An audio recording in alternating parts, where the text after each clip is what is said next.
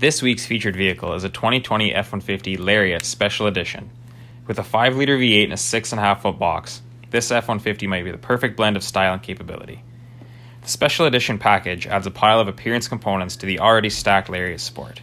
Things like body side striping, black 20 inch wheels, and a black with red accent leather interior are just a few of the added features. Standard equipment includes heated front rear seats and a heated wheel, B&O Play stereo, and Ford Sync 3 system with Ford Pass allow you to enjoy all the technology Ford offers. Call, message, or stop by to find out more about this week's featured vehicle, the 2020 F 150 Lariat Special Edition.